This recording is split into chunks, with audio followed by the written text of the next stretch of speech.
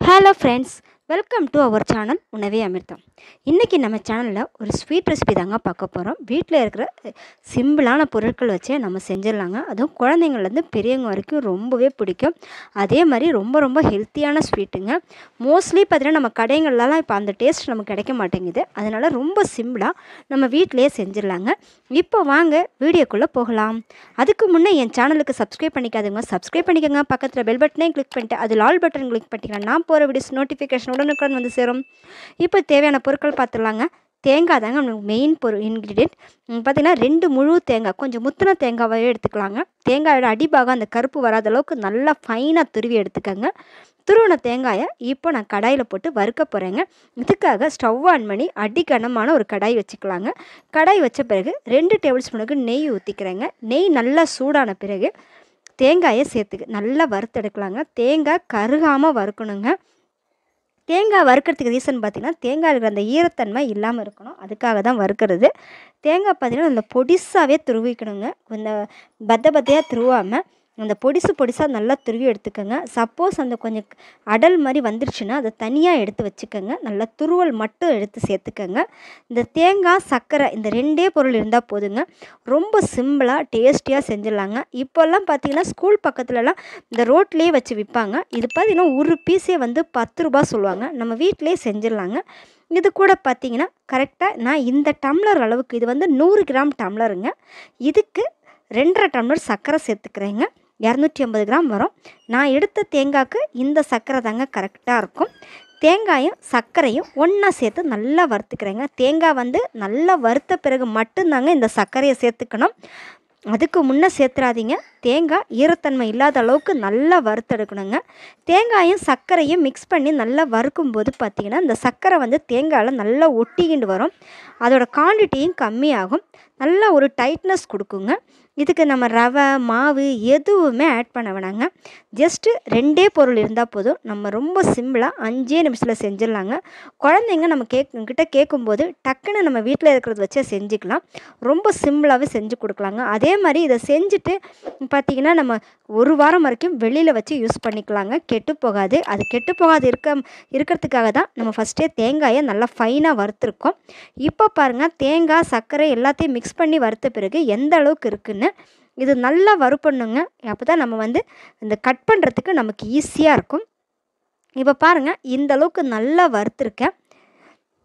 வறுக்கும்போது பார்த்தீங்கன்னா க கை விடாமல் இல்லைன்னா டக்குன்னு தந்து இந்த தேங்காயும் சர்க்கரையும் ஒன்றாவே அடியில் பிடிச்சிரும். அதனால் கை விடாமல் வறுத்துக்கணும். நான் வந்து நடுவில் ஒரு டேபிள் ஸ்பூனுக்கு ஏலக்காய் பவுடரும் சேர்த்துருக்கேங்க. ஏலக்காய் பவுடர் சேர்த்தா ரொம்ப வாசனையாக இருக்கும். அதுக்காக தான் சேர்க்குறேன். இப்போ பாருங்கள் இந்த தேங்காயும் சர்க்கரையும் சேர்த்த பிறகு எந் எந்த அளவுக்கு குவான்டிட்டி இருந்தது? இப்போ எந்த அளவுக்கு குவான்டிட்டி இருக்குதுன்னு பாருங்கள் இந்த சூட்லேயே வந்து இந்த சர்க்கரை தேங்காய் கூட சேர்ந்து நல்லா மிக்ஸ் ஆகி நல்லா ஒரு உருகி வந்துடும் அதனால் இந்த சர்க்கரை வந்து தெரியுன்ற கவலை தேவையில்லைங்க. சர்க்கரை நல்லாவே கரைஞ்சிரும். இந்த மாதிரி கடாய் ஃபுல்லாகவே தேய்ச்சி விட்டுக்கோங்க. அப்போ தான் நல்லாயிருக்கும் இப்போ பாருங்கள் டைம் ஆக ஆக நல்லாவே கலர் சேஞ்ச் ஆகிடுச்சு தயவு செய்து கை விடாமல் கிளறுங்க. இல்லைன்னா அடியில் பிடிச்சிரும். நமக்கு இவ்வளோ கஷ்டப்பட்டு செஞ்சுட்டு அடியில் பிடிச்சதுன்னா வேஸ்ட்டாக போயிடுங்க. அதனால் கை விடாமலே கிளறி எடுத்துக்கோங்க. ஒரு அஞ்சுலேருந்து பத்து நிமிஷத்துக்குள்ளே ரெடி பண்ணிடலாம். உங்களுக்கு தேங்காய் இந்த அளவு இந்த மாதிரி போட பிடிக்கலன்னா தேங்காய் வந்து மிக்சி ஜாரில் பல்ஸில் கொஞ்சம் குற குறன்னு அரைச்சிக்கலாம். அரைச்சிட்டு கூட அப்படியே சேர்த்துக்கலாங்க. ஆனால் அதை விட இந்த மாதிரி செஞ்சு பாருங்கள் ரொம்ப டேஸ்ட்டாக இருக்கும். தேங்காய் சாப்பிடவும் நல்லாயிருக்குங்க. அதுக்காக தான் நான் இப்படி செஞ்சுருக்கேன்.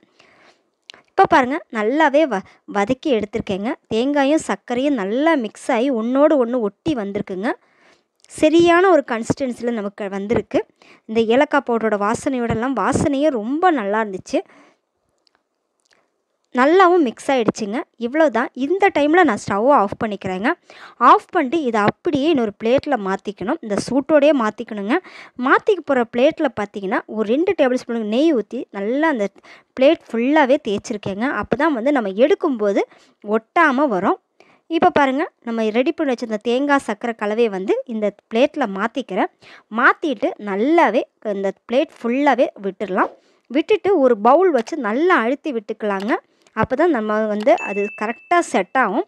செட் ஆகிறதுக்காக தான் நம்ம ஒரு பவுல் வச்சு நல்லா அழுத்துறது.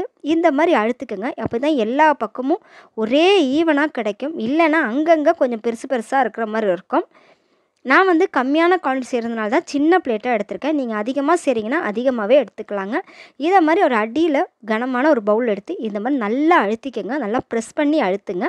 அழுத்தின பிறகு அப்படியே ஒரு டூ ஹவர்ஸ் விட்டுடலாம். ஆனால் இதுக்கு வந்து பார்த்திங்கன்னா ஒரு டூ ஹவர்ஸ் மேலேயே விடணுங்க. அப்போ தான் நல்லாவே செட் ஆகுது. இப்போ பாருங்கள் எல்லாமே நல்லா ப்ரெஸ் பண்ணி விட்டுனா ஒரு டூ ஹவர்ஸ் கழித்து பார்க்கலாங்க. இப்போ பாருங்கள் டூ ஹவர்ஸ் ஆகிடுச்சு கையில் எதுவுமே ஒட்டலைங்க. இதை நான் இப்போ என்ன பண்ண போகிறேன்னா இது மேலே ஒரு பிளேட்டு கவுத்துட்டு அந்த பிளேட்டில் நான் மாற்றிக்க போகிறேங்க அப்போ பார்க்கலாம் எந்த அளவுக்கு செட்டாக இருக்குன்னு. இப்போ பிளேட் வச்சு கவுத்துட்டேங்க. கவுத்த பிறகு இந்த நம்ம ஃபஸ்ட்டு ரெடி பண்ண பிளேட்டில் லேசாக சுற்றி நல்லா தட்டிக்கோங்க. தட்டிட்டு ஒரு ஷேக் பண்ணிக்கோங்க. இப்போ பாருங்கள் சூப்பராக வந்திருக்கு. நல்லாவே செட் ஆகிடுச்சிங்க இப்போ அந்த பிளேட்டை காட்டுறேன். அட் நடுவில் மட்டும்தான் கொஞ்சம் அந்த தட்டில் ஒட்டி இருந்ததே தவிர மீதி எல்லாமே பர்ஃபெக்டாக வந்திருக்குங்க. பார்க்கவே ரொம்ப நல்லாயிருக்கு இப்போ இதை நான் பொறுமையாக கட் பண்ணிக்கிறேன். நம்ம இந்த அளவு கட் பண்ணிக்கலாங்க. கட் பண்ணும்போது பார்த்திங்கன்னா கொஞ்சம் லைட்டாக உடையிற மாதிரி இருந்துச்சு. இன்னும் கொஞ்சம் கூட செட் ஆனால் நல்லாயிருக்கும்னு எனக்கு தோணுச்சுங்க. இப்போ பாருங்கள் சூப்பராக ரெடியாக இருக்குது தேங்காய் பர்ஃபி ரொம்ப டேஸ்ட்டாக இருக்குதுங்க. நான் வந்து இது ஒன்று சாப்பிட்டு பார்த்தேன். ரொம்ப ரொம்ப டேஸ்ட்டாக இருந்துச்சு. அதே மாதிரி ரொம்பவும் சாஃப்டாகவே இருந்துச்சுங்க. ரொம்ப நல்லா இருந்ததுங்க தேங்காய் பர்ஃபியை. நான் இதை என்ன பண்ணியிருந்தேன்னா மறுபடியும் இதை செட் பண்ணுறதுக்காக அப்படியே வச்சுருந்தேங்க. இப்போ பாருங்கள் இந்த தேங்காய் பர்ஃபியை வந்து நான் மறுபடியும் செட் பண்ணுறதுக்காக மறுபடியும் அப்படியே வச்சுருந்தேன். அப்படியே வச்சுட்டு மறுபடியும் வந்து ஒரு ஓவர் நைட் விட்டுருந்தேங்க. அதுக்கப்புறம் பார்த்திங்கன்னா சூப்பராக செட் ஆயிருந்தேங்க. நல்லா நம்ம ரோட்டு கடலெல்லாம் கிடைக்கிற மாதிரி அந்தளவுக்கு ஷேப்பாக க சூப்பராக கிடச்சிது இந்த தேங்காய் பர்ஃபி. ரொம்பவும் டேஸ்ட்டாக இருந்துச்சுங்க. எனக்கு வந்து இது ரொம்ப ரொம்ப பிடிச்சிருந்தது. இவ்வளோதாங்க. ரொம்ப சிம்பிளாக எளிமையாக செஞ்சலாம்.